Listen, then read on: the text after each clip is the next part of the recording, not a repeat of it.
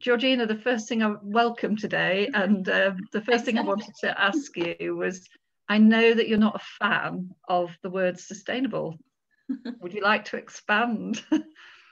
um, yes, of course. Hello, everybody. Um, thanks for having me. I'm super thrilled to be at my first literary festival uh, talking with the book. So this is very special for me. Um, yeah, I set up Pebble um, back in 2016 and even then we were talking about what was sustainable what was ethical and what was eco-friendly in terms of products and services. And i just thought for me the word sustainable doesn't really work in terms of capturing the kind of excitement and the innovation and the opportunities that I think are there um, in terms of a sort of more greener way of living. It always sounds a bit boring to me, the word sustainable. And in nowadays, um, you can also see it being used in greenwashing an awful lot. So people are sort of sticking that word in front of everything. And really, there's no legal definition um, when, it, when it applies to a product or a service. So it's now being used in a way to sell products that perhaps aren't as green as as you hope they are or you're led to believe. So sustainable is a tricky one. It kind of in one way means nothing and in another way it can mean anything and everything. Um, and for me one of the reasons i started pebble was because i just was so blown away by all the different people around the world you know making incredible changes and inventing products and coming up with with amazing ways to kind of solve our, our climate emergency. And that's not being shouted about enough. And to kind of reduce that all down into one word, um, that, that's the word sustainable, I just felt like was was also doing them a disservice. So yeah, for me, it's it's a problematic word, and also we don't have a bigger vocabulary around these issues. We need to get a bigger vocabulary because we end up just describing stuff as sustainable or ethical when actually it can mean so many different other things and what we mean by it can be can be so different so yeah we need we need a better vocabulary basically Yes, I think it's a bit of a catch-all phrase, isn't it, which gets bandied about really. Um, one of the things that you talk about in the book is clothing. Uh, I know there's been a sort of there's a sort of fad for fast fashion over the last decade, but also now more people actually recycling um, their clothing and fashion. So perhaps you could give us some tips on how to be a bit greener. Certainly. So of course, so um, you know, I think over the last few decades we've we've all bought for fast fashion and sort of thought about price and convenience when we buy our clothes and kind of been lulled into that sort of false cost of clothing. Um, I don't know if anyone here will have seen a documentary called True Cost, which goes into sort of um, the resources and the energy and the, the human crafts that, that you know a piece of clothing really takes. Um, but the amount of clothing as well has become a huge problem. So I think we get through something like 140 billion bits of clothing a year.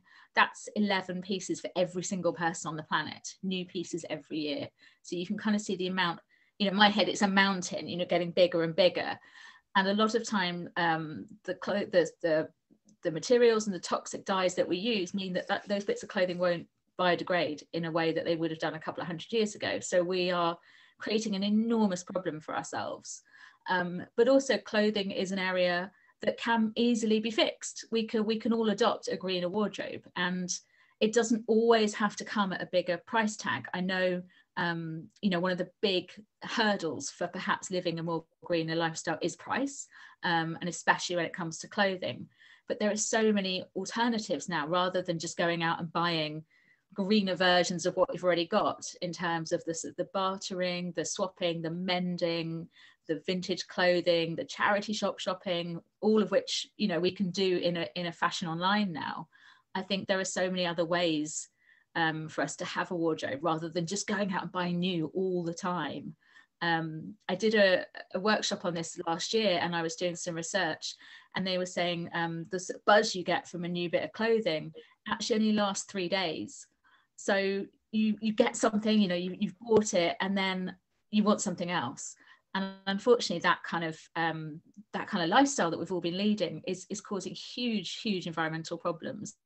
So anything we can do to reduce how much clothing we're buying and what we're buying and how we get rid of it is, is really helpful. Um, so the book goes into lots of different materials um, what sort of materials you should be looking for um, about 65% of our clothing worldwide is synthetic so it's made with oil or it's, it's um, includes plastics we have a big plastics problem. We know that, you know, we know about microplastics now, and a lot of that comes from our clothing.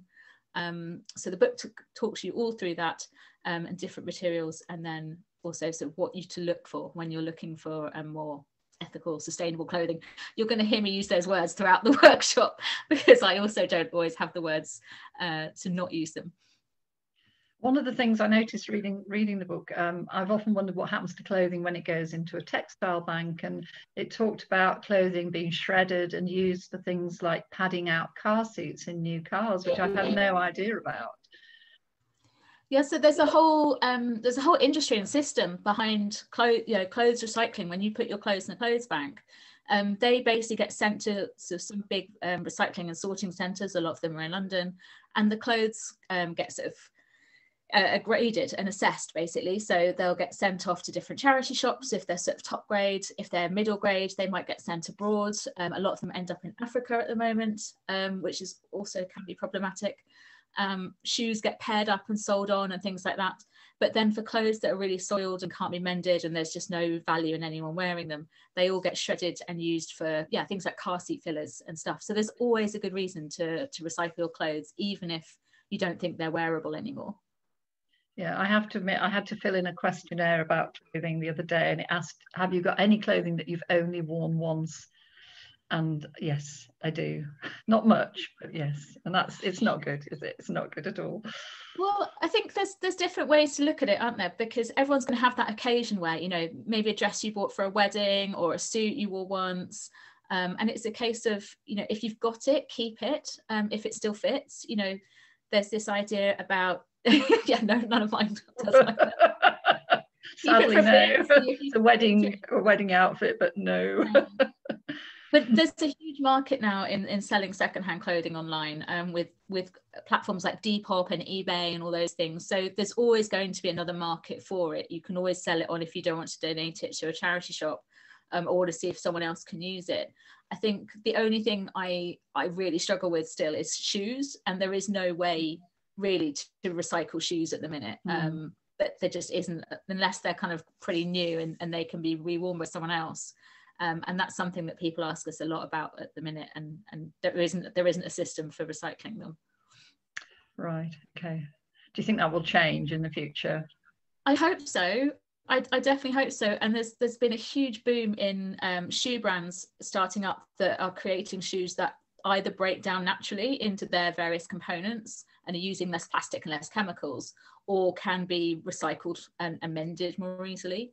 Um, mm so shoes are a bit like those you know how like electronics and cars have got ever more complicated until we can't fix them ourselves mm. trainers modern trainers and things are, are, very similar so there's a lot of companies going back to basics using either leather or you know vegan alternatives um, so yeah it's it's shoes are a bit of a bugbear for me at the minute mm. Mm. Um, I want to take you into the kitchen now, um, which is just behind me here. Um, wanted a conversation really about washing up, the dreaded washing up. Now, I don't have room for a dishwasher, uh, but I'm not sure whether I'd have one even if I did have the room, because is it greener to use a dishwasher or is it greener to wash up by hand? It's funny, um, this has been one of those questions that every single person that reads the book brings up. And I never knew that dishwashing and washing up was such a universal like argument between people. Um, and apparently I've settled several arguments in households uh, over the last couple of months, which makes me really happy. Um, but actually, if you're using a dishwasher and you're using it on an eco setting and you're filling it up, then a dishwasher is actually greener. Um, modern dishwashers use around 25 litres of water um, per cycle. And actually, when we're washing up, we use around nine litres of water a minute, which is huge when you when you start to think about it. And most people, when they're washing up, might use up to 100 litres you just don't realize you turn the tap on even if you're quite conscious about not running the tap for a long time um, so yeah it really does make a huge difference and actually even things like pre-rinsing your dishes which we might have grown up thinking that was the right thing to do if you stop pre-rinsing your dishes it can save up to 27,000 litres of water a year So if you're paying for water as well on a meter, it's going to have an impact. Um, so yeah, there's a there's a couple of caveats. Obviously, you know, make sure that dishwasher's full, run it on the most eco setting, and see if you can be using so plant-based detergents or um, start ordering your dishwasher tablets from different companies that don't use plastic. And there's a lot more of them now that deliver to home. Um, so yeah, there's there's a few different ways, but dishwasher is is actually greener. Right well, I'll have to wait till I get my next house because I just physically haven't got room for one, unfortunately. Never mind.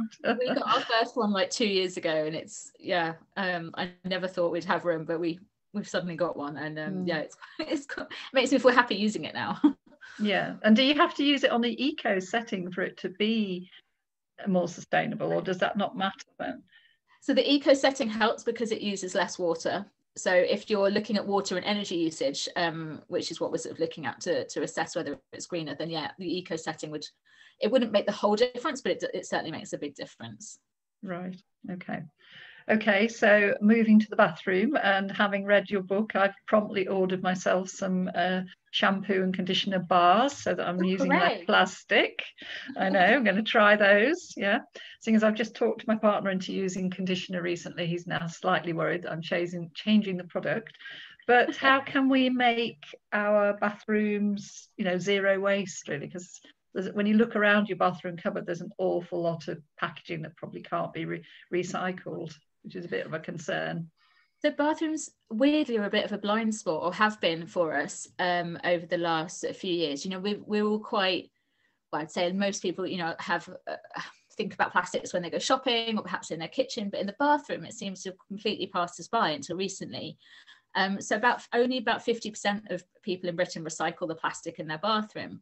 But when you think about the shower gel bottles and the shampoo and the conditioner and the soaps and the toothpaste and everything else that's an awful lot of plastic. Um, so we go through something like 264 million toothbrushes. Um, over in the states, they go through a billion razors. I mean, this is per year. This is this is huge.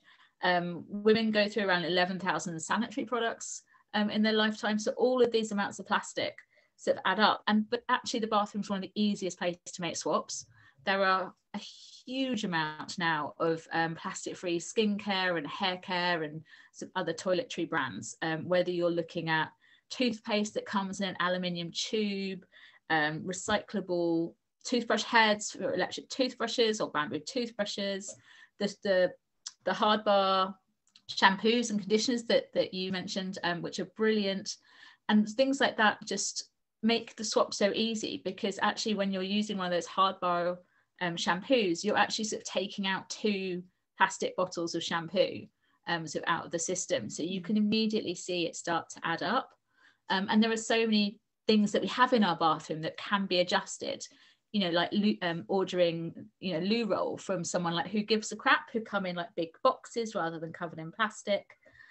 Um, using going back to using safety razors rather than the the disposable razors.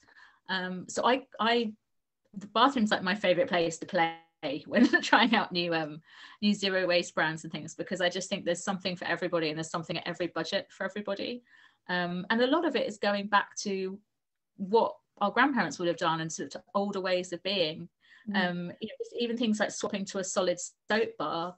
Obviously, we've we've probably never all been through so much hand soap as we have in the last year, but um, a solid bar um, will last twice as long as a, a liquid soap bottle. And um, uses 25% less carbon um, in its manufacture. Plus, it doesn't come in as a plastic bottle that, that can't be recycled.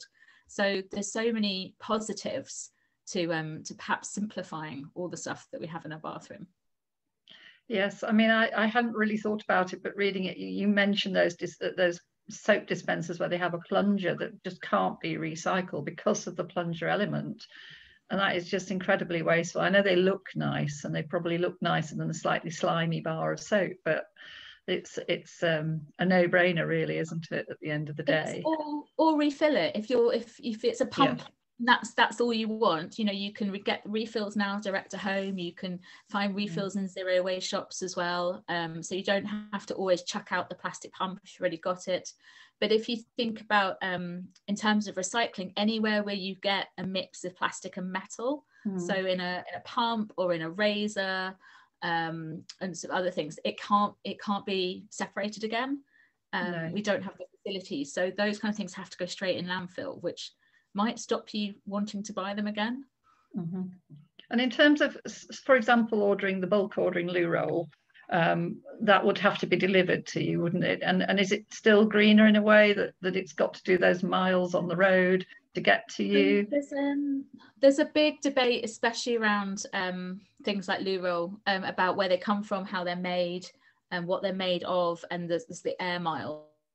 And it is a bit of a balancing act of sort of going, okay, well, it's made of certified recycled paper, but it's got to come from further than Europe, um, you know, or it's made of bamboo, but it's coming from China or something. So it's we need definitely we need more domestic products um, in terms of like loo roll and kitchen roll and things. Um, they're actually huge, hugely impactful, um, and there are starting we are starting to see that change. But um, one of the things I think the book flags up quite a few times, and we talk a lot on Pebble, is it, we as consumers we, we, we can be quite conflicted. You know it's not always easy to make a green choice because you're weighing up consequences the whole time.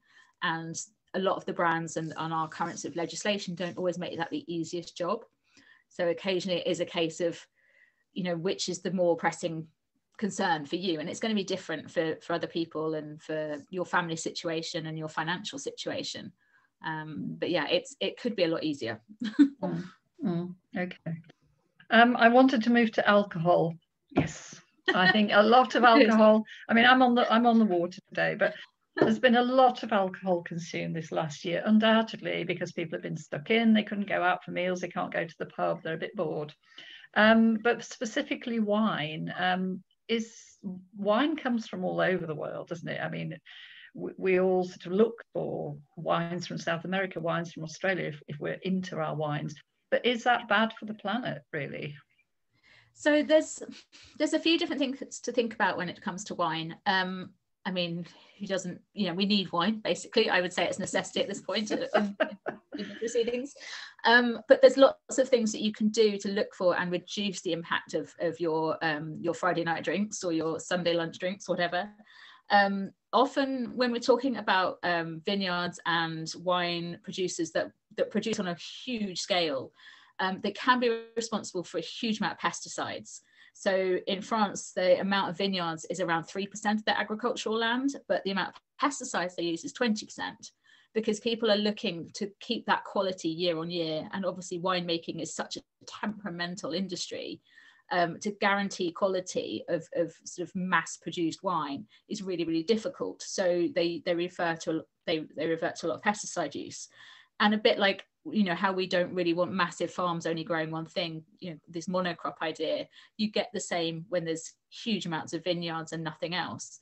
So what you want to be looking for is the small producers um, and words like low intervention or biodynamic or organic natural um, which all kind of mean the same thing. It basically means the farmers and the the, the winemakers really have trying to work with the land they've got, with the with the climate they've got, and not add anything into the soil and not add anything into that that um, that process. And then you've got um, a lot of wine isn't vegan as well. So a lot of people have only sort of started to clock onto the fact that uh, some wines use a stabilizer called isinglass, which is made of fish bladders, which is lovely. Um, so that's a sulfate. So you want to look for wine that doesn't um, include sulfates or that is is sort of labeled vegan. And then also you, you like you you picked up on um, with the last question, where it comes from is really important. So the British wine industry has never been better. I mean, we're winning awards all over the world for like sparkling wines and whites and even reds now. So is there is there wine that you can drink from this country to cut down the carbon emissions? Um, and there's also a lot of debate in the wine industry about whether they can ever move away from the glass bottle idea, because that actually was 17th century or 18th century um, way of transporting wine. And actually, it's very outdated. It, it's beautiful, and we're all very used to it, but the glass is incredibly heavy. So there are some um, wine suppliers moving to bags. I know we we kind of used to scoff at the idea of wine in a bag, but actually, it's it's pretty decent now. Um, and then things like kegs and reusable um, and refillable systems. So you might even see wine in, on a tap in your zero waste shop in the future, where you go and take your mm. bottle. So there's lots of different things to think about um, in terms of sort of buying wine. But especially the guys that are doing a really good job in, in producing biodynamic and organic wine, definitely need our support. So I would say definitely keep buying wine. Mm. um, yeah, thinking about where it's coming from and who you're supporting with your money. That's an idea that I come back to again and again in, in the book and, and in the magazine. Would it be more sustainable to buy a wine box then? I mean, then you've got plenty to go at, of course, but but um, I guess in terms of transporting etc is probably a better idea isn't it definitely bulk buying um, almost anything is going to be better because it's less packaging and you're transporting you know a large amount of things once um, and the sort of wine in boxes really are much much better than what we were used to sort of 10 or 20 years ago. Mm. i've even started seeing people doing gin in refillable sachets and um, in a right. box as well. So Gosh. yeah right. well i'm not encouraging alcoholism I, I must admit but um, yeah there's a lot to think about there definitely. Um, moving on to food I'm, I'm i'm reeling from what i was reading this morning because this humble item you can see the humble avocado I bought this one a week ago. Actually, it's a bit overripe and I might not even be able to use it. So I might have to waste it and put it in the compost bin. But I think this is going to be the last avocado I ever buy or consume. And it's all Georgina's fault. and I, I wanted to ask her really about why some foods just aren't worth the carbon footprint that they create, really. Well, um, I mean, first in the book and, and with Pebble, we always try and give people other options. Um, you know, we're not trying to tell people not to do stuff or, or to sacrifice things, as, as you know, the wine chat just just hopefully um, focused on. But there are a few things that actually really aren't worth it and and the humble avocado um, really is one of them. A bit like um, you know talking about monocrops and when we all do one thing or when we the farms only grow one thing if we all eat a certain food stuff it really isn't good for the planet because it puts so much pressure on the area that that food stuff is grown in. And in this case it's in mexico. And so so many people now want avocados. The farmers are basically selling off forested land um, so that they can plant more avocado trees and turn a you know it's, it's become a cash crop. So it's causing deforestation. Um, there's a huge amount of um, emissions uh, around the transportation of avocados um, obviously they're so you know fragile and, and, and, beautiful things but they need to be huge amounts of plastic and packaging. Um, and then like you said you know sometimes you don't even eat them or they they you can't use them. Um, so for what you get, it's it's just not worth the carbon footprint, um, unfortunately. And it's for me, it's one of the the the slight issues around sort of moving everybody over to plant-based eating and to, to vegan diets, which we do need to do to a point to reduce our, our consumption of meat and dairy. But just moving, just swapping over, not actually thinking about where those other ingredients come from, um, I think can be a bit short-sighted. You know, unfortunately all food has a carbon emission um, you know it's not the fact that nothing does so we just need to think about where that food is coming from um, and looking at how we can balance that with eating locally and seasonally which is going to be the most sort of carbon efficient way of eating. Um, but yeah sadly the avocados i think that's the one thing in the book i'm like don't do this. Well i didn't realize that, that avocados were grown in mexico and that's just me being ignorant. I had no idea they were traveling so far.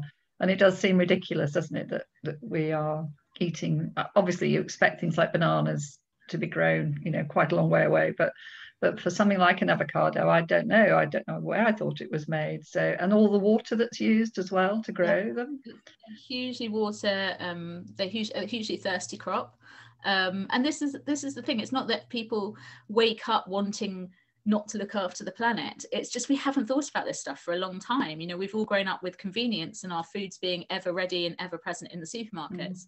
and we haven't had to think about where they come from.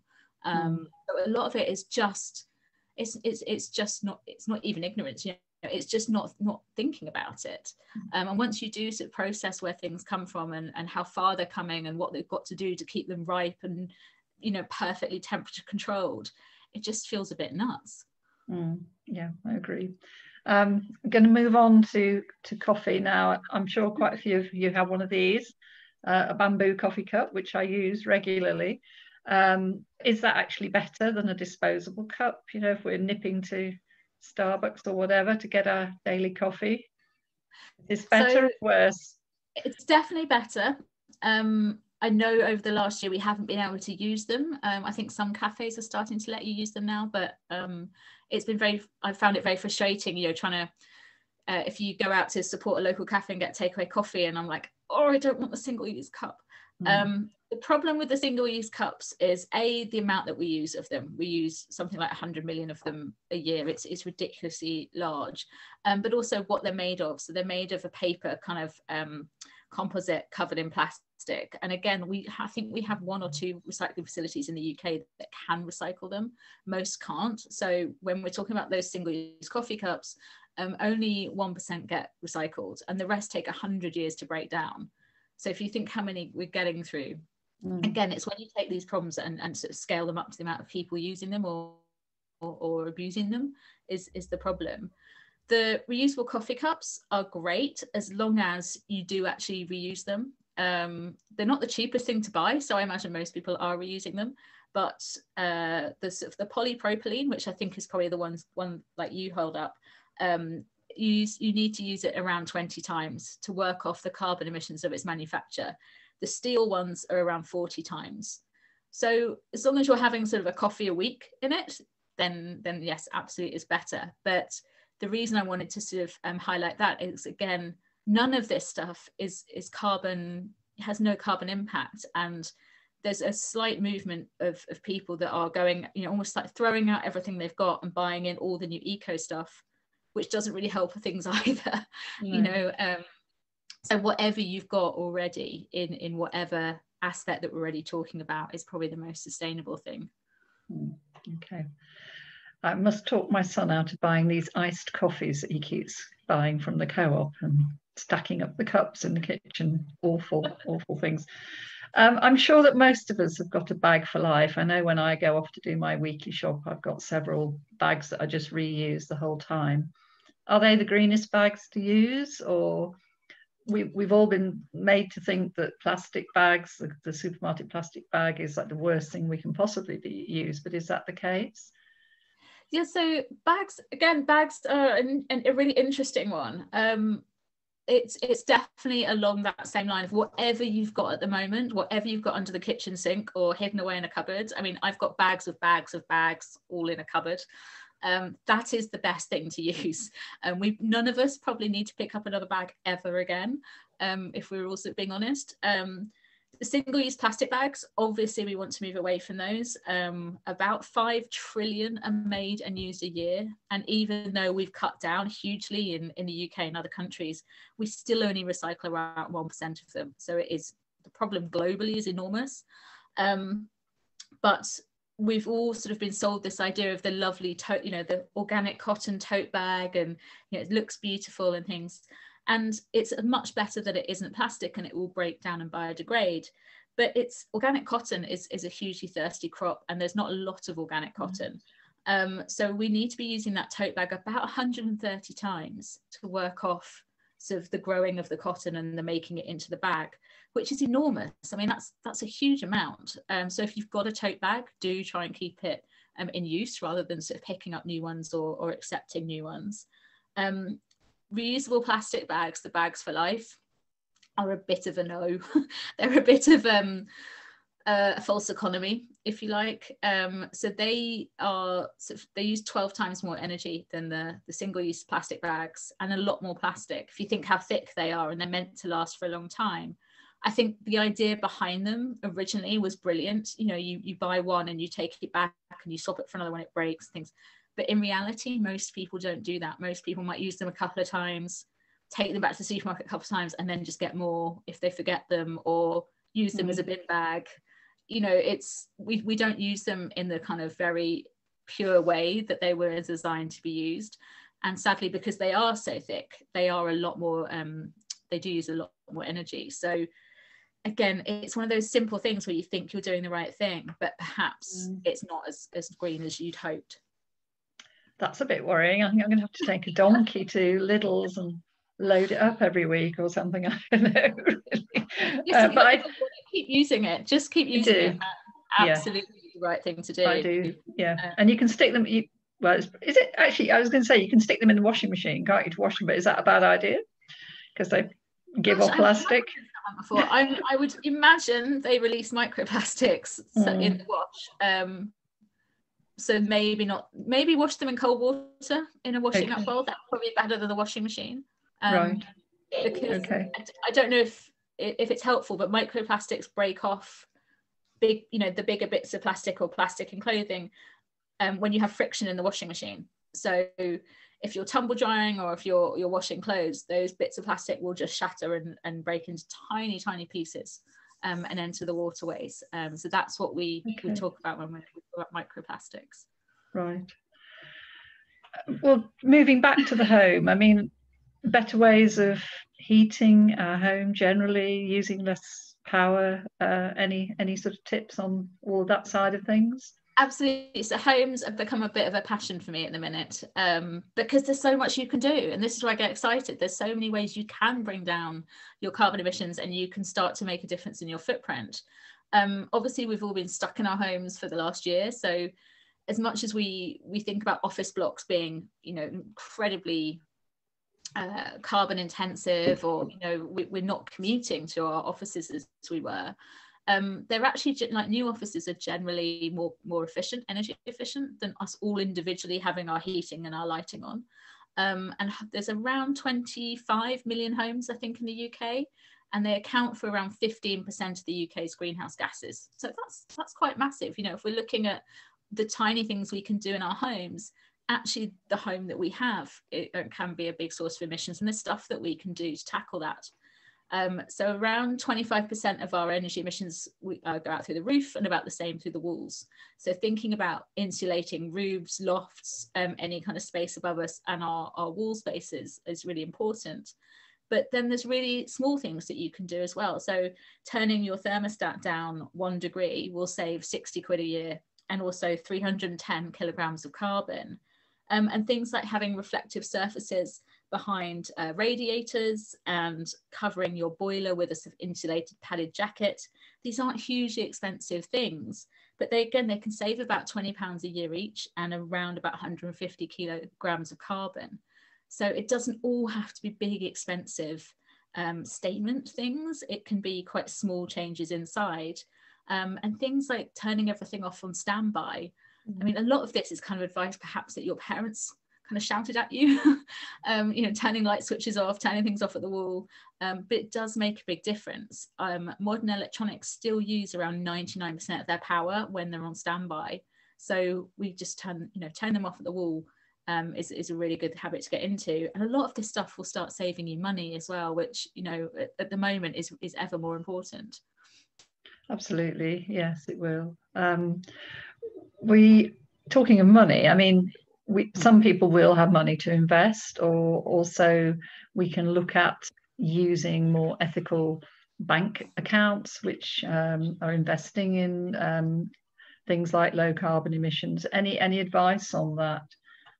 Yeah, definitely. And and just before I, I do, I, I meant to say as well for anyone that is interested in the car in the home area um, the energy saving trust has the most amazing array of, of resources and helpful tips um, and also the Green Homes Grant, which um, I think is still going from the government, but that can give you £5,000 towards insulation and changes um, to your home. So there, there is help out there as well if you're if you're looking at safe, um, changing things up at home.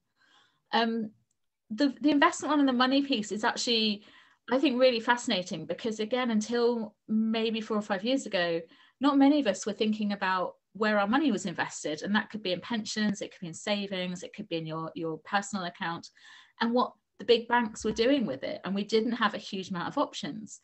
Um, but nowadays the, the, high street banks are being challenged by a lot of, of new online banks. They're also being challenged by a lot of um, green bond companies and different ways that you can personally start investing um, in, in greener companies so this thing called esg investing so environmental social governance governance investing has become a really big buzzword and a really big trend.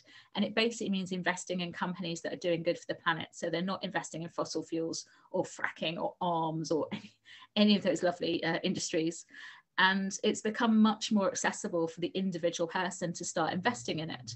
So you've got things like um, there's an app called Tickr, T I C K R, where you can invest um, as little as five pounds in different green companies Um, there are new green ISAs coming through, um, which again, you know, help you save money and make sure that your money um, is, is invested in ethical causes. There are um, different green pension offers. And then there is a lot of pressure as well on the high street banks to actually change up their investment models and move away from those big industries that they used to invest in, like fossil fuels. So if you're really concerned about this and you want to make sure your money is is is bit, you know doing good for the planet while it is sitting there somewhere, um, then actually making you know checking out your own bank's sustainability policy and seeing what they're investing in can be a really good place to start. Um, in terms of the high street, the co-op and tri- Triodos are the two most ethical um, ethical banks to start with. Um, so it can be as simple as switching your bank account, and that's a huge massive thing to do, um, but would actually help save a lot of carbon emissions. Great, okay. I think one of the questions that is at the back of everybody's head, particularly this year, as we're all hoping to get away for holidays at some point, is how damaging flying is, um, flying to other countries, and is it something we should try to avoid? Um, any any sort of solutions or ideas? flying. I know. I don't remember flying. Um, yes, I mean we can't get away from the fact that flying is hugely carbon intensive. Um, the aviation industry accounts for about 2% of the world's um, greenhouse gas emissions, um, about the same as commercial shipping. So there's a, there's a few different industries that, that do that. Um, and really, when you, if you want to think about it from a personal point of view, one person flying to New York and back is the same carbon emissions as um, one person living in the developed world for a whole year. So it's it's probably one of the, the biggest, most impactful things you can do. Having said that, it isn't very realistic to tell everybody to stop flying, um, especially after the year we've we've had. A lot of people are desperate to get away and to see family and you know experience different things. So there are different ways that you can help to bring that impact down. Um, so if you're thinking about flying, taking fewer and longer flight, um, sorry, fewer and longer holidays um, helps reduce the amount of flights that you're taking over the year. Flying direct, so um, you know, instead of doing short haul and lots of different layovers, flying direct is a lot more um, carbon intensive than than doing sort of hops. Most of the carbon emissions from a flight are in takeoff and landing, so just avoiding the going up and coming down bit is really good um, taking less luggage with you. Um, obviously, it burns more fuel the heavier it is. Um, and actually, not all airlines are equal, and not all flights and planes are equal. So, newer airlines and newer planes tend to use less CO2. And apps like Skyscanner um, actually tell you if you're looking at sort of five or six different flights, they will tell you which are the greenest flights to take. So you can start to sort of look and and and and choose um, you know something that's going to be slightly less and then offsetting, which has had quite a rough, uh, bumpy uh, ride, I would say, in the last few years. But offsetting's really come on leaps and bounds, and there are some amazing companies um, doing a lot around agroforestry and tree planting. Um, when you're looking at offsetting your flights. Um, and there's a lot of carbon calculators out there so that they just work it out for you and you can pay a monthly subscription or a one-off sum to sort of offset any traveling that you're doing. So there are lots of different ways to kind of tweak the impact of your flight. You can't get around the fact that it's probably the most carbon intensive thing you might do all year. But you know, I think we have to be realistic at this point and say people are going to fly. Um, but how can we how can we bring that down? And then obviously if you, you know, trains, uh, trains, ferries, bikes, walking, all give you the most amazing holidays. Um, it doesn't have to be a plane journey for it to be a holiday. Um, so I actually was uh, I actually wrote a book last year that's been delayed for a year, all about the best train travels, uh, train trips in Europe, and um, that's going to be coming out next year. So that's I'm super excited about um, championing train travel in Europe at the moment as well. That's great, Georgina. Thank you very much. Just some a real whistle stop uh, tour of your your book there and, and and there's a lot of really helpful information on your website. What's the website address? Is it just pebble dot oh so pebble magazine is pebblemag.com i'll put it in the chat um so okay. people find it. Uh, but yeah we talk about everything on there from um, we're doing a lot of like slow travel and british travel um, talking about the best um, ethical fashion brands how to swap your you know your energy suppliers through to interviews with some of the most pioneering brands and, and sort of leaders in this space. So anything, any aspect of sustainable living that you're looking at, um, yeah, it's definitely a great resource. Great, thank you. Um, I noticed that somebody put in the chat, um, uh, Paul Bramley, uh, sorry, Paul Ramsey mentioned, why not use a thermos flask for your coffee? You know, you, I presume you could get Jock to put it in a thermos flask or take coffee from home in a thermos flask. It's a very good idea. You can get these little small cup thermos flasks now, which um, work really, really well, keep the coffee hot for a couple of hours.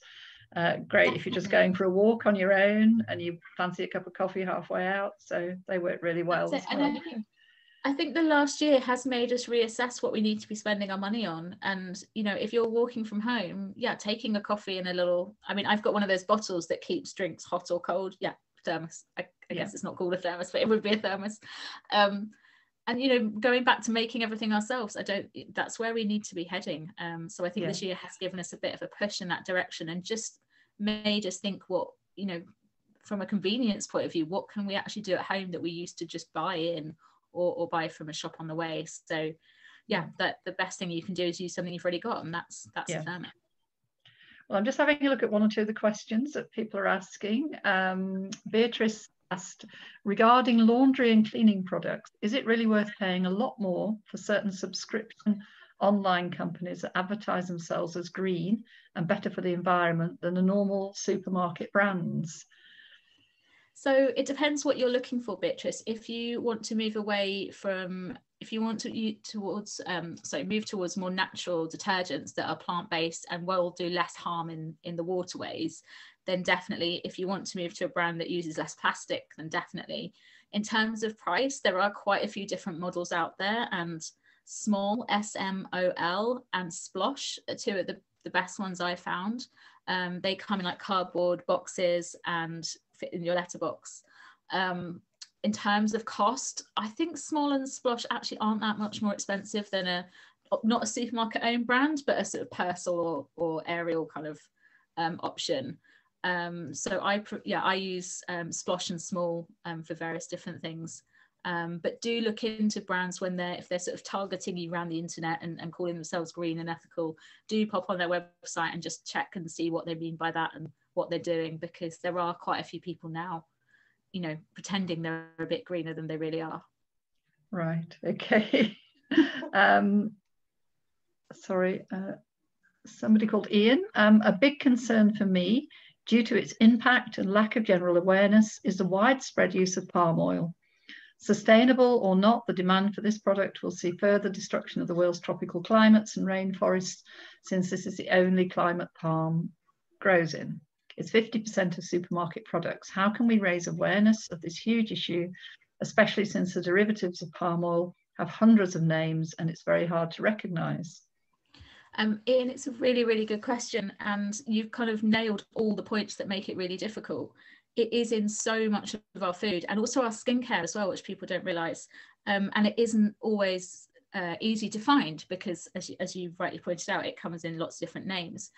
But it's often found in in pre-pack, you know, um, heavily produced uh, foodstuffs, in ready meals, in biscuits, things like that. So looking at anything that's been super super manufactured and trying to move away from those types of products really really helps um, and also so buying i don't know whether it's organic brands or locally based and, and made brands um, and choosing products from those people instead of the big mass market um, global names again would really help um, in terms of skincare the same thing really choosing to, to to work with brands that you can see it's been like handcrafted or made in a small batch or made locally um, and all these different sort of um, ethical sort of signifiers that, that show that they're not using um, palm oil. There's also quite a few brands that are really shouting about not using palm oil, like Doisy and Dam uh, dark chocolate. Um, and there's also quite a lot of skincare guys I know that are really proud that they don't use it. Um, and there's also an app called Giki, G-I-K-I, and that's an app you can download on your phone and you can scan products in the supermarket and it will tell you if it contains palm oil. Um, so that's a really good way to sort of have in your, in your, in your pocket. Um, if you're really unhappy about palm oil, and it's a hugely controversial and difficult problem, but yes, we need to start getting rid of palm oil um, talk to the brands that you love the most are they using it? You know do they have a plan to get rid of it? Are they going to phase it out? The more consumer pressure we can put on the people that use it and make them realize that actually enough of us don't want them to be using it anymore is, is still a really important thing to do. Um, one other thing the book comes back to and, and the magazine goes to a lot is this idea that we have a lot of power as consumers and we're always told that individuals can't make a difference but it's it's not true at all. We make a really big difference. And when we're vocal and when we put pressure and when we come together we actually have a huge sway in in what brands do. Um, ultimately they only make products and they're only successful because we buy them. So if we change that behavior they have to follow suit. Um, so yeah putting pressure on the people that make those products um, it, it can feel tiny and it can feel like david and goliath but it does make a difference Thank you. Uh, Michelle was asking, are cotton shopping bags better than plastic bags? I know we did touch on this earlier, but overall, would you um, think that they are? I think, yeah, overall, I think they are. I mean, for me personally, I, I think they're better because they don't obviously contain plastic and they will biodegrade. Um, what we're just, what I think people perhaps aren't always conscious of is those cotton bags don't just, just, you know, appear from nowhere. They're made of resources, they're made by people. That crop has to be grown. So it still has a, an, an, impact and a footprint. Um, but yes, I would I would say they are because everything that um, I feel very passionate about is, is reducing plastics from from whatever resource or industry that we can. Um, but I'm having researched the book, I'm now quite conscious of not picking up any more tote bags. Um, mm. I probably don't need another one ever. So I think, uh, yeah, it, just being conscious of you know your own consumption of whatever it is is is really important you could you could get yourself a Huddersfield Literature Festival um, cotton tote bag actually if anybody would like one we have plenty. Uh, Vicky Horner um, has asked a question which I, I was interested in in fact actually was researching it earlier on. Um, when it comes to eco-friendly cleaning are there any alternatives to bleach that work just as well? Oh, I know a lot of people use various combinations of bicarb of soda and lemon. Um, in terms of like being the kind of stripper away of all things. It depends what you're using mm. the bleach for. Um, I don't know is the answer to that. I'm going to have to find out and come back to you. There's nothing I've seen that's been like a plant version, but I would imagine that's because bleach is so caustic. Mm. Nothing else is going to be exactly the same. But depending on what you want to use it for, there might be a sort of DIY um, natural version. Um, if you let us know what you, I mean, if you're putting it down the loo, I I'm not sure there is, but there seem to be some products I was looking at, I can't remember the names of them now, which claim to be able to sort of get the smell and the stains out of dishcloths and and things that you can add to your wash to yeah. to keep things whiter but but they are you know they're, they're not they haven't they're not full of nasty chemicals I say I'd, I'd have yeah. to go back and have a look but yeah I think if you google it Vicky you might find a few alternatives it might be worth trying yeah there's i mean if there's um people like clean living and also people um eco eggs are pretty good for your laundry to getting out like really good mm. stains um, they're like a plastic egg that you reuse full of pellets um, yeah. and the pellets um, react with each other as, as the wash goes on and they they sort of remove a lot of stains and you can catch microplastics can't you in is there something you can put in the wash which catches microplastics as well? Yes, you can get them. It's called a guppy bag, and it's made of an incredibly fine mesh.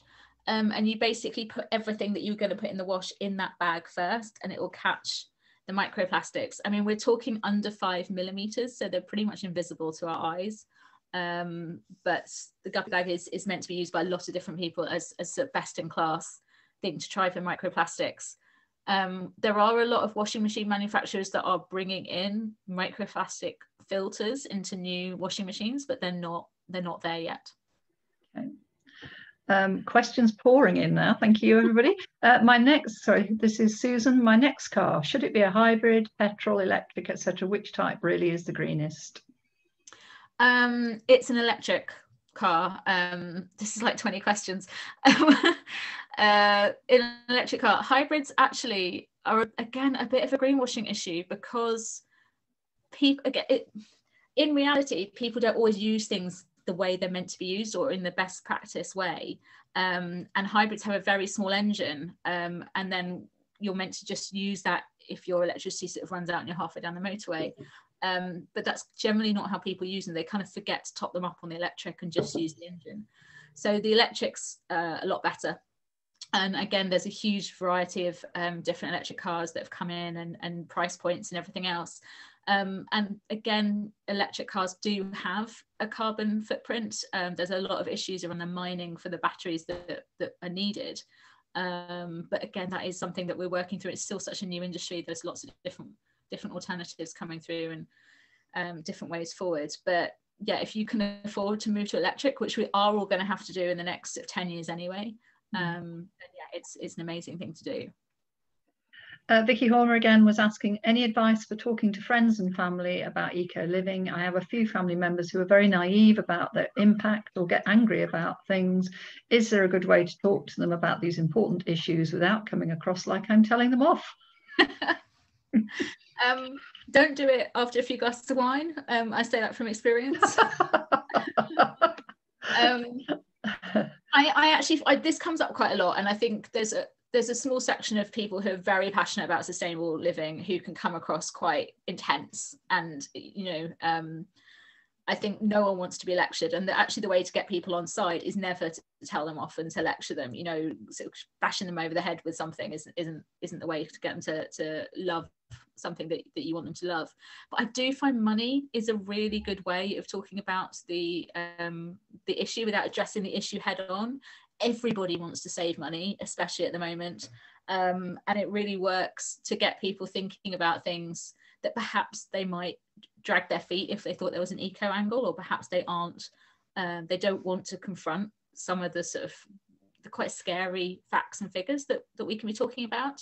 Um, but I find if you address things, take the eco angle almost out and, and put the financial angle in, that can help the conversation get mm. started. Um, and ultimately, we want people to change their behaviours. Why they change that behaviour almost doesn't matter. If someone's mm. only doing it to save themselves money, doesn't matter. Who cares? You know, they're changing. Yeah.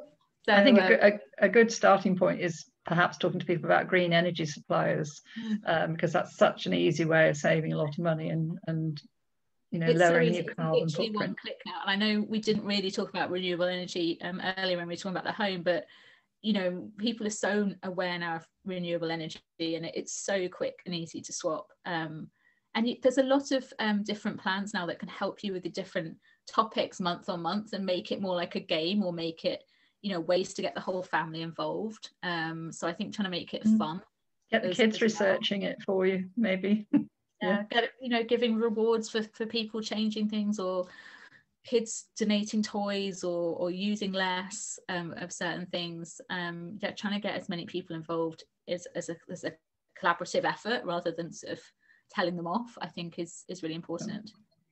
Um, Jean Tallis said, uh, isn't offsetting your flight the same as the medieval idea of indulgences? Sorry, I don't know what that means, uh, Jean, but is it is it just a cop out for rich people in the West, basically?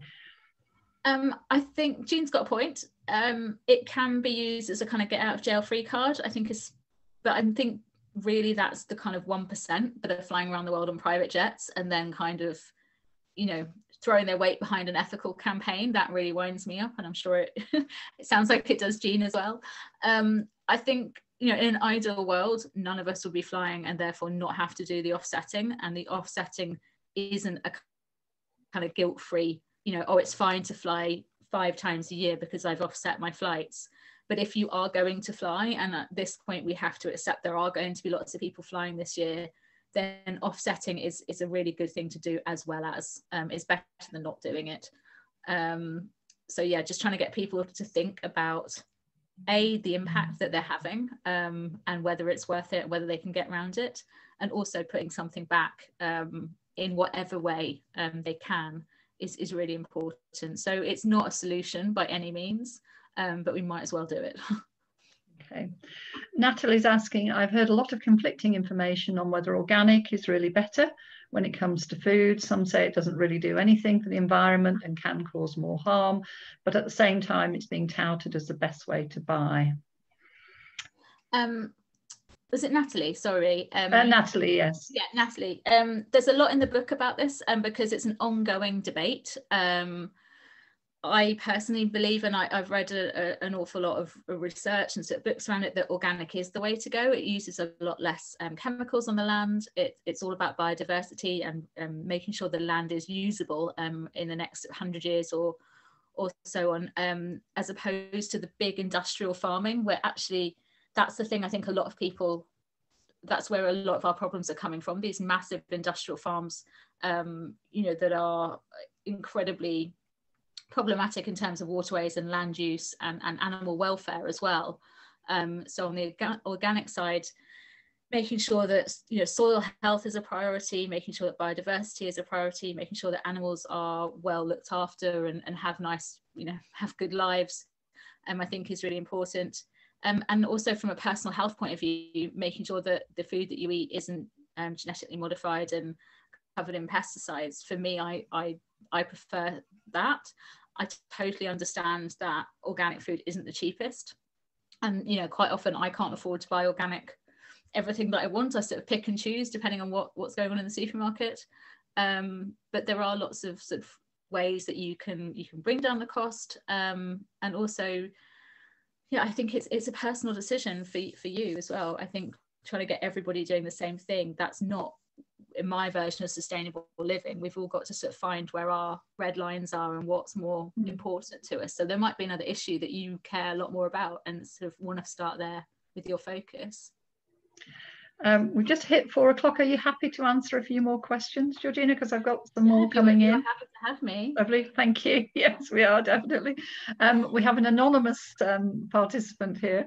Uh, have you done any work on compostable compostable packaging? I keep seeing it advertised as green, but it can spoil batches of plastic recycling if it's put in the waste that waste stream. Often can't be put in the home compost because either. So it doesn't seem like a particularly good thing. composting yes you're right basically it's composting the, the compostable versus biodegradable debate seems to be the new area of greenwashing um, lots of companies are sticking the word biodegradable um, or compostable in front of their products. And often what it means is that it will break down in an industrial composter. We have five of these in the uk that's it. So unless you know your recycling is going to one of those five industrial composters, yes, it will spoil batches of recycling, and our recycling levels are really rubbishly low at the minute as well.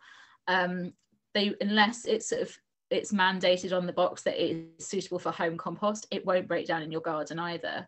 Um, and a lot of the compostable materials are still made of what's called bioplastics. So um, it, it, will still break down into microplastics. So yes, it's a hugely problematic term. Um, there are some good people out there that are, making things that will compost at home. So, for instance, a lot of tea bags used to have plastic in them, and the last few years we've seen an awful lot of people move away from from using plastic and making sure your tea bags will actually break down in your compost bin. Um, but for a lot of packaging, it's it's becoming a big um, yeah a big greenwashing issue definitely check the website of the brand that you're using or, or talking about and seeing what they say in the small print. Email them um, or, or, contact them on social media and ask them to confirm um, exactly how the product breaks down, exactly what it's made of. Um, if they're not transparent with you, then yeah, I wouldn't I wouldn't be buying with them um, or spending money with them. But we all need to move away from plastic packaging, and there are some really good people trying to find alternatives. Um, but it's just a case of whether those alternatives are actually better in the long run um, uh, and what impact they have as well. Uh, Paul Ramsey is asking, how damaging is the increased use of soya beans in vegan diets in terms of where it's grown and damaging natural habitats? Gosh, um, we're really getting into the nitty gritty, and these are these are really complex questions. So um, I I won't I can give you a top line in, a few minutes. Um, expecting you, you to be the font of all knowledge here, I'm afraid, Georgine. Um, this is this is why we we haven't solved the climate emergency um, because it's incredibly complex and interconnected, and um, people far cleverer than me uh, working on it for decades. Um, yes, so more and more more and more of us are eating vegan or plant-based diets, which is great in one aspect. Um, but like I was talking about with the avocados earlier, just swapping to um, vegan based products which are made of soy can have an unintended consequence because again soy is becoming a cash crop it grows very quickly it grows in subtropical environments and we we're losing like heritage forests and rainforests as people cut it down to make room for soy farms to fuel that demand so it is a problem um, yes but most soy products aren't made for human consumption they're made for animal consumption so this is where I'm talking about how complex and interconnected everything is. So actually by reducing the number of animals that we eat, um, and need on the planet at any one time, we will reduce that soya um, usage as well. So it's half of one and six do, you know, does half dozen of the other at the minute. Um, but I think it's something like under 10% of all soy grown is used for human consumption, and pretty much three quarters of the rest is is for sort of animal um, animal consumption. And we go through like a billion chickens a year and something scary of, of, of cows as well. Um, I'll need to check the book in a minute. Um, but yeah, it's it's it's not an easy solution. Um, we need to find something that is vegan friendly and also not made of soy. And Lucy's asking, with teenagers in the house, how do I get them to turn things off? Are there monitors that can target a room so that I could pop up pocket money in return for them saving electricity, perhaps? Um, I feel like this is where actually things like smart technology come into their own, um, where you can program plugs to come on and off at different times and set thermostats and um, turn various different electronics off. So maybe that's the way to go um, because you can program them all as being sort of voice activated or activated from your phone. Um, so you've got control over over the lights and the electricity and the and the, the temperature. Um, as well, there's also um, programs like I mentioned Giki earlier, which is an app, but the same company do a website called Giki Zero. Um, and they're trying to get people to sign up to cut a ton of CO2 um, in 21. So cut a ton in 21. On average, about every person in the UK gets to about nine tons a year but what they how they do it is through tiny steps so agreeing to not fill the kettle all the way to full when you want one cup of water or um, pledging to turn off things when you go to bed and it gives you awards and it gives you um, you know it's more like a game and i feel like something like that might be something you can all do together um, and see if that works because you you get rewarded for for different aspects of of sustainable living that you do. Um, I'll put the I'll put the name in the chat for you. Um, I think it's Giki Zero. And we do have more questions, and I think we can probably go through today. And I'm very grateful to everybody for uh, contributing because it makes for a, a, really interesting chat. Just one final one from uh, I, have missed the name of who it was from, I'm afraid. But what would you, if you had one top tip today that we could all go away with any idea um, what that would be? One, just one thing. Um, go and do a carbon calculator. It's really simple. Um, lots of them online, and it will tell you how much carbon on average you're using in whatever setup you've got, what family financial setup you've got, and then you can start to think about how you can reduce it. But I always think arming yourselves with the facts and the knowledge to start with helps you work out what you're going to go and target um, mm. and, and how to bring that down because just bringing everybody's carbon emissions down a little bit is is is the way forward. Well, thank you so much, Georgina. Um, just a reminder, if you want to to get hold of the book, it's on the, all the usual platforms. We also have a couple of booksellers that we work closely with, Reed Bookshop in Holmfirth and Fox Lane Book as well. If you look on our website, you'll see those bookshops there and they'll be more than happy to source the book for you and probably even hand deliver it if I know Reed. Uh, so, so do have a look rather than going straight to Amazon, please. Um, and and also please go to our Huddersfield Literature Festival website, which is huddlitfest.org.uk to see what's on for the rest of the week. So quite a few events you can book into. Thank you so much, Georgina. It's been fascinating. It's a great book, an absolutely essential book. It's one I'm going to be buying for presents for people this year, definitely. And I hope that the audience here get oh, to read it. You. Well, thank you so much for having me, and um, hopefully it, it's given people a few different thoughts in different directions or spurred a few ideas. So um, thank you so much. And I, you know, the book isn't about being doom and gloom. It's about sort of embracing what we can do to to make change, and I think that's exciting. Um, so thank you so much for having me, and hopefully I've helped some some dilemmas today as well. thank you everybody for coming and uh, see you at the next event. Thanks. Bye.